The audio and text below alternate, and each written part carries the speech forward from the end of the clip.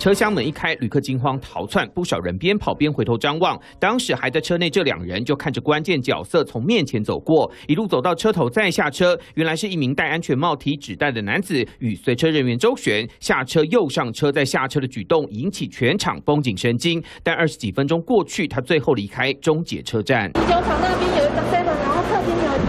一个转弯的那个可以往。警察为何逮捕他？在捷运站做什么事？吓人啊！站起来！东西嘞？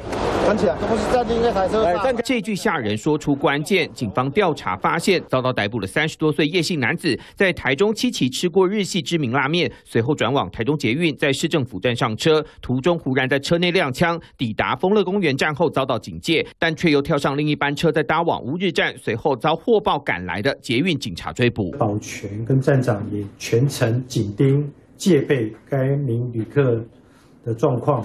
那并持续沟通劝导。除了这两名中介人员，还有车站站长于保全。面对踉跄恶作剧的男性乘客，没想到当事人好不容易下车，却又换车再上路，再多搭四站。嫌疑犯没有跟乘客来隔开的状况，而且既然可以让嫌疑犯再坐下一班列车，要针对这样子维安的事件，不管是中捷、捷运警察，都应该要加强安全管控的作为。台中捷运的站务人员，再加上负责维持安全的捷运警察。队尽管外勤配置三十二名人力，无法随车随时紧盯。二十九号晚间七点多，突发车厢内亮玩具枪的恶作剧事件，终结如临大敌，引发旅客恐。